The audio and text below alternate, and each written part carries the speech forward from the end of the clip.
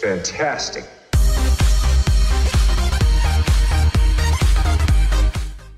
Hallöchen und willkommen zurück zu einer neuen Runde Clash Royale und gestern war es ja schon recht knapp bei den Spielen, deswegen habe ich mir überlegt, wir müssen nochmal eventuell irgendwas tauschen, aber ich bin auch noch nicht weitergekommen, was ich da eventuell tauschen können täte. Ähm, wir haben ja dadurch, dass wir den äh, Henker rausgeschmissen haben, eigentlich schon wieder ein bisschen was gespart, weil das ist ja billiger geworden dadurch. Und ich habe mir überlegt, eventuell wäre es ja jetzt eine Möglichkeit, vielleicht mal den Magier reinzunehmen für die Bogis. Dann ist man zwar wieder ein bisschen teurer, aber nicht viel. Und vielleicht hilft uns das was. Ähm, einfach nur eine Idee, eventuell, der könnte ja auch im Notfall die Elite-Barbaren verteidigen gegen irgendwelchen Kla Kram. Und ähm, geht auch gegen Luft, also da machen wir keinen Verlust. Und ich dachte mir, vielleicht ist das eine Möglichkeit, um da weiter Verbesserungen heranzutreiben. Ähm, müssen es natürlich erst ausprobieren, wie sich das Ganze dann entwickelt. Aber vielleicht haben wir ja die Möglichkeit, dass du das jetzt können wir ihn sofort mal dahinter pflanzen. Ah, jetzt kommt natürlich ein Bowler. Den können wir natürlich jetzt gar nicht gebrauchen. Das ist natürlich jetzt kacke, aber wir werden zumindest mal schauen, was der Magier da noch so anrichten kann. Nicht sonderlich viel, beziehungsweise sehr gut, der ist jetzt schon halb down, aber das ist natürlich trotzdem nicht so schön. Der Rest wird natürlich jetzt auch nicht mehr allzu lange halten, aber Feuerball noch auf die Prinzessin. Okay, so. Ja, das war schon mal der erste Versuch, der ging schon mal in die Box. Ähm, können natürlich jetzt nicht unbedingt was dran ändern, äh, aber ja, gut. So, da können wir jetzt nochmal zuschlagen mit dem Knallzauber und dann haben wir doch auf jeden Fall da schon mal wieder ein bisschen was gerissen mit dem Schweinereiter. Wie gesagt, ähm, ja, gegen den Bowler ist natürlich immer ein bisschen kompliziert, weil ich halt kaum Lufttruppen habe. Ich habe viel, was über den Boden latscht. Ich habe, glaube ich, gar nicht so an Luft wirklich, ne? Das heißt, alles recht anfällig gegen einen Bowler und dementsprechend müssen wir mal schauen. Er wird ihn jetzt halt wieder setzen können gegen die Elite-Barbaren. Aber vielleicht kann ich ihn mit Feuerball noch ein bisschen in Zaume behalten. Dann, ja, jetzt beides erwischen, das wäre natürlich ziemlich geil. Nochmal Pfeile drauf. Vielleicht kriegen wir dann noch ein bisschen ja, den E-Magier kriegen wir schon down. Nochmal Schaden am Turm. Und jetzt mit der Prinzessin vielleicht den restlichen Bowler schon kaputt. Oh, jetzt wird's... Jetzt müssen wir die Feuergeister einmal setzen.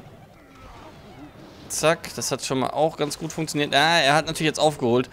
Dadurch, dass er jetzt die Elite-Barbaren auch setzen konnte, Bowler noch dahinter, hat er jetzt den ersten Turm schon fast im Sack. Wir müssen ein bisschen abwarten jetzt. Hm, naja, das war natürlich jetzt blöd, aber jetzt können wir mal den Magier nehmen.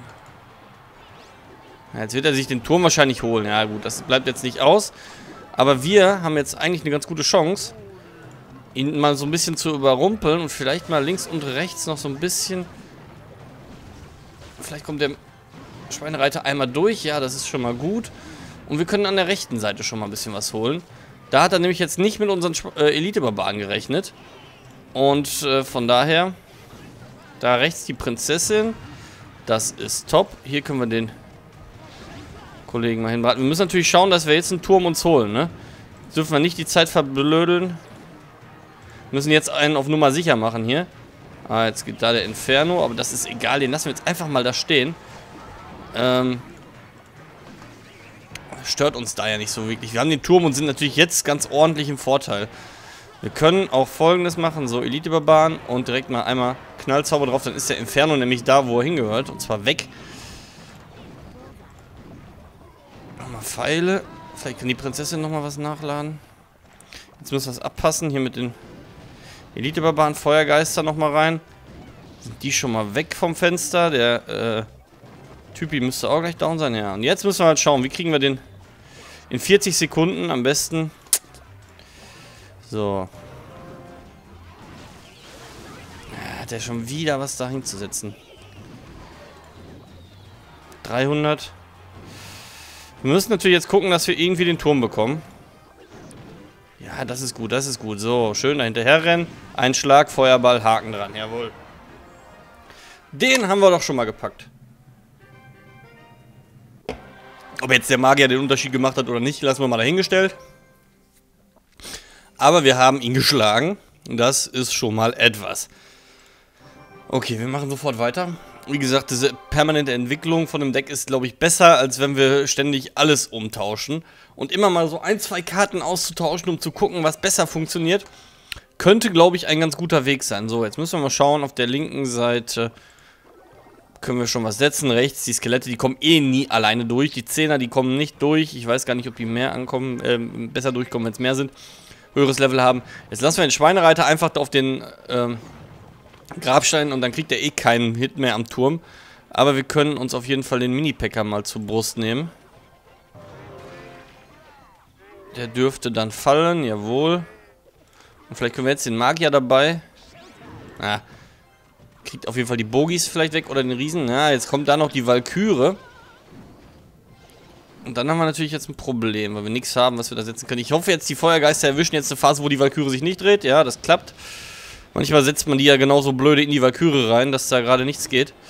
Und jetzt müssen wir nochmal Feuerball draufknallern und dann müssen wir schauen, ob wir den Elite-Lack, ach, den, den, den Mega-Lackei weghaben. Das geht.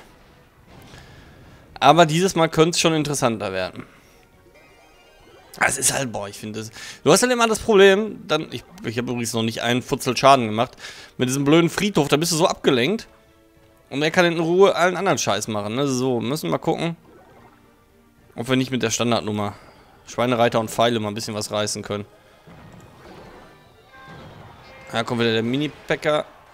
Da kriegen wir zumindest mal zwei Schläge. Jetzt wird die Valkyrie wieder kommen. Mal gucken, oder? Nein, kommt sie nicht. Ja gut, der eine Feuergeist wird nicht durchkommen. Okay. Ich würde ihn jetzt am, am liebsten sofort richtig unter Druck setzen, aber die beiden Bogies links müssen wir eigentlich auch aufhalten, sonst machen die auch zu viel. Und dann müssen wir rechts, äh, links die Elite-Barbaren halt beisetzen. Ich kann es jetzt in dem Fall nicht ändern. Ah, der Magier hält natürlich auch nicht sonderlich viel aus, muss man echt sagen, ne?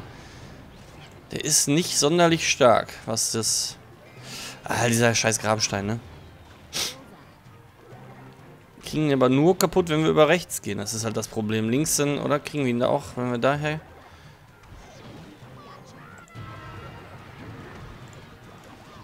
Ja, schön. Jetzt hat er den Megalakai zumindest mal da reingesetzt. Kriegen wir den ganzen, das ganze Gelumpe schon mal down. Der Magier lebt noch und kann sich um den Riesen kümmern. Das ist okay. Der Riese wird trotzdem durchkommen. Das ist jetzt ein bisschen kacke. Und wieder der Grabstein. Ich hasse das halt einfach, ne? Aber was willst du machen? Es ist eine legitime Karte, man kann sie benutzen. Jetzt sind wir mal durch. Jetzt sind wir mal durch. Endlich mal. Jetzt kriegen wir ihn vielleicht sogar vor die Mütze geballert. Nein. Wird nicht ganz ausreichen, oder? Nein. Ja, Freunde, es war ärgerlich. Ihr habt es gesehen. Aber wir hätten es fast noch gepackt. Wir hätten es fast noch gepackt, aber was willst du machen? das ist bitter. Äh. Ach, beim Schluck trinken. Das ist bitter, aber was willst du machen? Ging halt jetzt nicht anders, den konnten wir in dem Fall leider nicht mehr packen. Ah, Pech gehabt. Hätten wir die Pfeile noch gehabt, eine Millisekunde mehr Zeit, hätten wir gewonnen. So halt nicht. Es hat ein bisschen gedauert, bis wir uns auf ihn eingegroovt hatten, sage ich mal. Dementsprechend mussten wir ein bisschen schauen. Oh, ich mache jetzt mal folgendes. Ganz easy. Feuerball auf den Musketier, dann gibt es da schon mal Ruhe. Jetzt wird er wahrscheinlich Pfeile schmeißen auf die Prinzessin. Nein, das Kampfholz, okay. Vielleicht. Nein, schade, down. Äh, manchmal überlebt die Prinzessin das Kampfholz, ja, das ist ja dann immer ganz praktisch.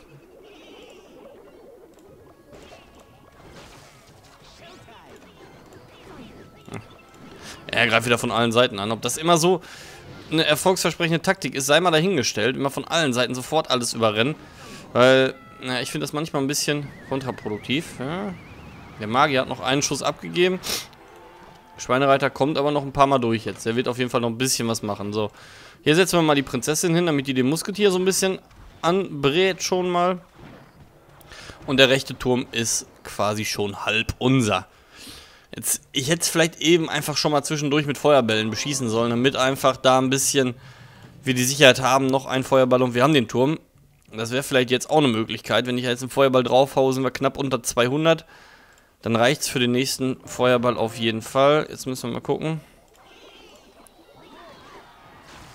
Da nochmal einmal kurz wegbraten und dann haben wir den auch. Diesmal, ach, dieser Tornado, jetzt zieht er die wieder in die Mitte, aber der Schweinereiter wäre jetzt so blöd und würde würde ähm, nämlich quasi zum Hauptturm laufen. Das machen aber die Elite-Barbaren meines Wissens Gott sei Dank nicht. Ja, Prinzessin kriegt halt jedes Mal das Kampfholz voll. Das heißt, die brauchen wir eigentlich nicht mehr setzen. Äh, und jetzt haben wir nämlich genau das gleich, dass wir zusehen müssen. Ich werde jetzt ein bisschen antäuschen. Ich werde jetzt hier und da einmal den Schweinereiter so, damit wir auf jeden Fall auf der Seite ein bisschen Ruhe haben. Und falls jetzt irgendwo was kommt, halten wir mal den Sepp bereit. Auf jeden Fall rechts jetzt. Das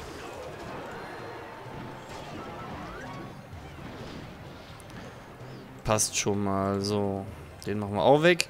Wie gesagt, Prinzessin eigentlich sinnfrei. Ich setze jetzt trotzdem mal hier hin. Vielleicht lässt das ja einmal bleiben mit dem Kampfholz. Kann dann einmal auf die Banditin schießen. Und wir sind ja immer noch recht gut vorne. Ja, Banditin jetzt down. Das ist auch okay. Hm. Jetzt wird natürlich der Tornado wieder kommen.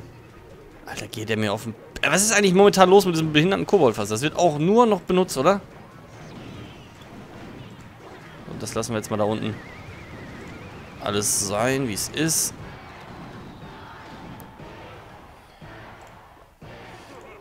Und wieder. Mal gucken, jetzt geht's aber woanders hin.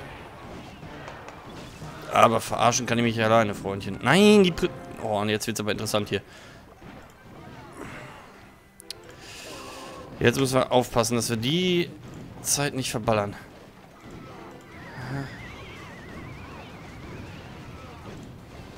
Jetzt wird's wieder knapp. Ja, jetzt kommt wieder das Kampfholz. Äh, die, die...